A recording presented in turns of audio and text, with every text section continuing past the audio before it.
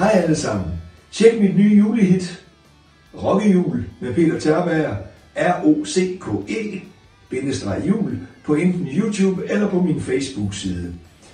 Patrick Larsson fra Sverige er komponisten, og Kurt Bønderup er tekstforfatteren. Vi ønsker jer alle sammen en rigtig glædelig jul, samt et godt nytår, og forhåbentlig ses vi i det nye år. Hej hej.